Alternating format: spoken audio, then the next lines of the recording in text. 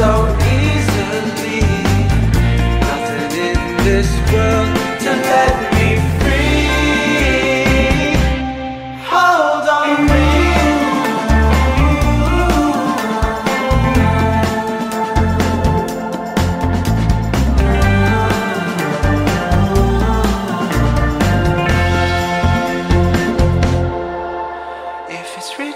the stars, I guess it's really meant to be.